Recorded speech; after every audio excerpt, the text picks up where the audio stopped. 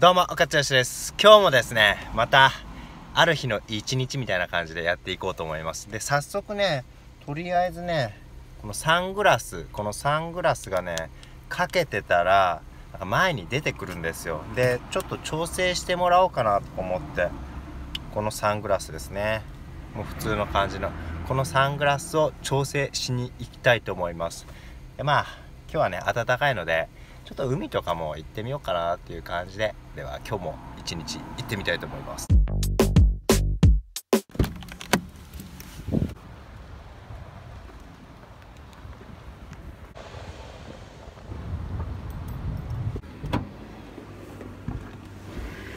とりあえずいい感じかな。どうかな。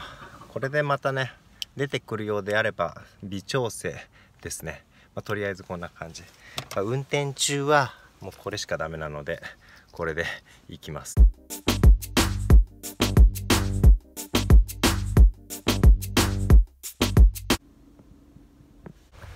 はい海到着。えっ、ー、とねここは、えー、調布の海ですね。誰もいないです。誰もいないです。誰もいないです。でちょっとここを降りていってでここをねちょっと降りていって砂浜。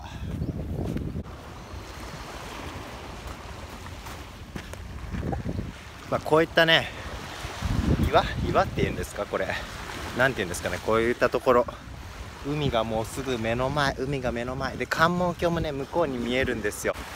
関門橋関門海峡にいます。反対側が北九州ですね。足元これ海ですよもう。海海。魚とかいないかな魚とかいませんでしょうか？最高のロケーション。今日もねまた天気がめちゃくちゃいいのでお散歩日和でございます。ここここ面白いぞ。ここの景色抜群だなほんと。髪型が。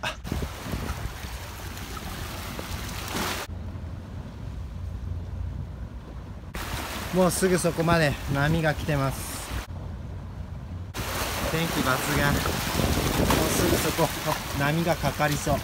波がかかりそう。抜群の天気最高。ここはね何回か来てるんですけどね。開放的ですごく気持ちいいです。空も。これ見てください。この鮮やかなブルー。じゃあちょっと元に戻ろうか応ここでねタイムラプスこの角度で撮ってるんですけども雲がねそこまで動きがないような気がするのであんまりねあの動きがないタイムラプスになりそう。足元がねこれね全部貝殻全部じゃないけど貝殻なんですよね、まあ、全部じゃないけど結構ねこう貝がたくさんありますね。こんな感じ。こんな感じの場所です。もうすぐそこが海。下関は海。山。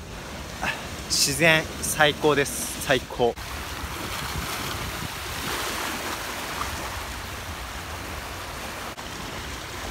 なんかねこう潮風に当たるとすごくね健康的になるらしいですよ。だからたまにねこういう風に海に来てもいいかもしれない。まあ最近至って健康体ですけども。まあそんな感じですね。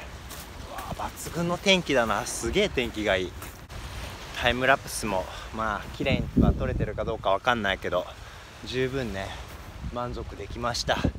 空の感じ最高だな。ということで次どこに行きましょうか。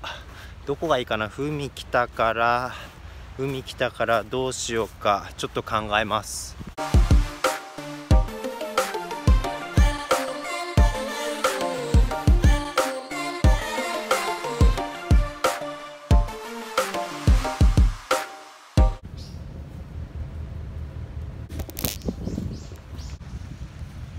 はね非常に眠たくなるレベルですね。でここなんか面白いのあります。クジラの仲間スナメリの観測場所ということでここでね観測できるそうです。ずっと見てたら見えるかもしれないですねどこかにね。でせっかくここ来たんで最後あの下関では懐かしのクジラクジラ館かな。今はちょっと中は入られないんですけどもクジラ館の方を見てえどこ行こうかな次。あそうだここまで来たからニトリに行って紙ハンガー僕がお気に入りの洋服をかける紙ハンガーを追加購入したいと思います。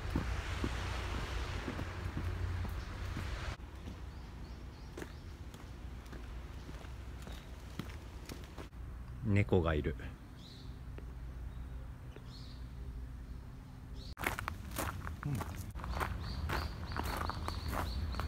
下関での有名なクジラ館でございます。クジラ館。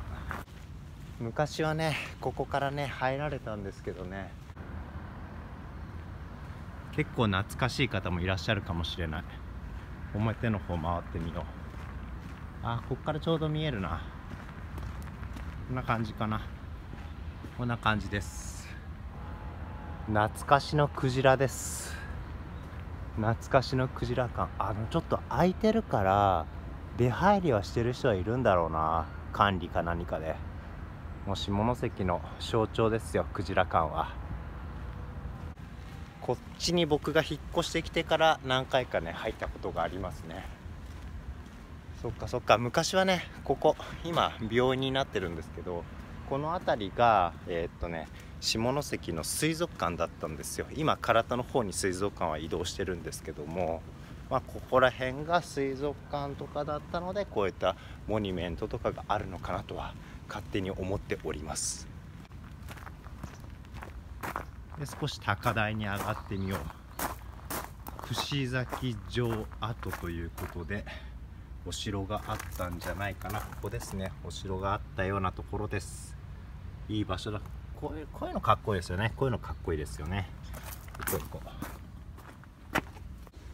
ちょっと一日これだけで満足しているような気がする。まあいやここやばいな。ここの景色いいな。めちゃくちゃいいな。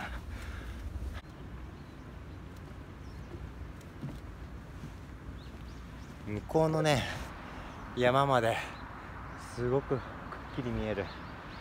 よしここが城跡。城跡です。こんな感じですね。城跡。城跡でございます。下の方はあそこになんか学生かな？学校ですかねあれは。なんだなんかしてるな。応援の練習だろうか。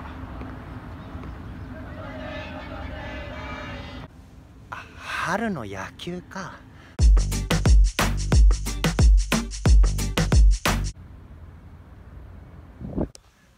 はいじゃあね次はニトリに行きたいと思います。やっぱりね海風はめちゃくちゃ気持ちいい。行きましょう。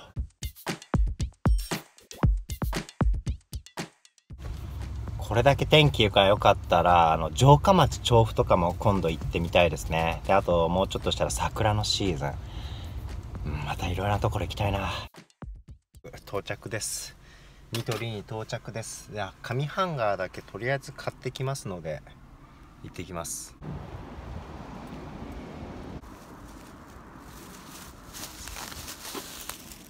ニトリ。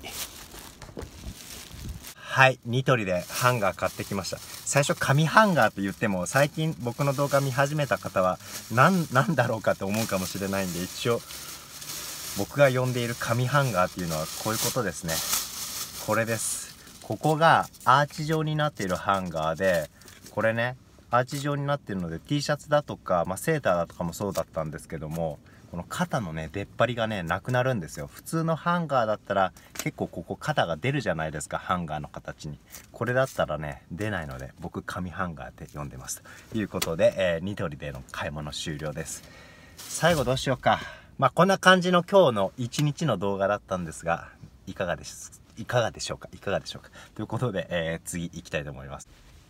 とりあえずユニクロユニクロチェックです。はいということでねユニクロの方行ってきました。で僕のものじゃないんですけども奥さんにどうかなと思って買ってきたものがございます。はいこちらです。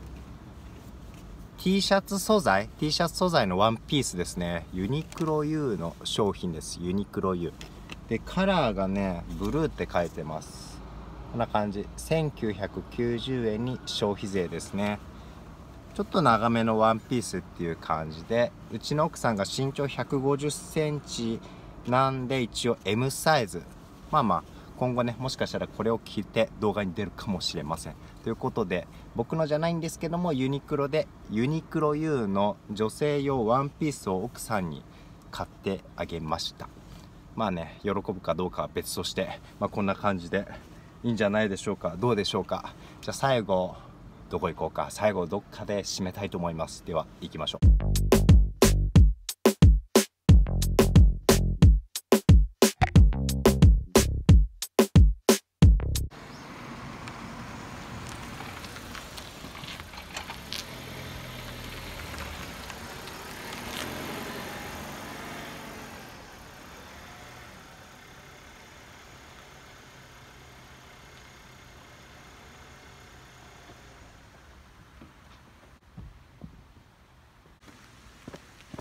はい最後はね森に来てみました。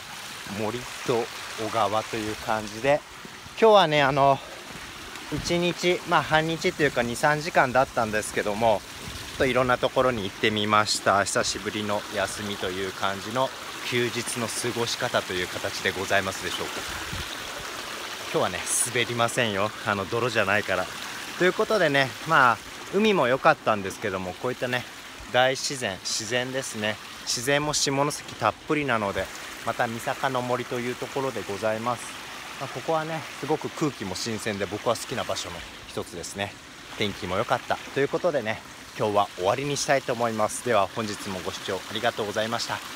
もしよろしければぜひチャンネル登録お願いします。あと Twitter、Instagram、ウェアもやってますのでよろしければチェックしてみてください。以上勝吉でした。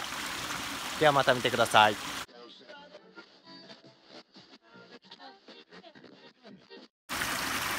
この流れがいいですよね。気持ちいい最高。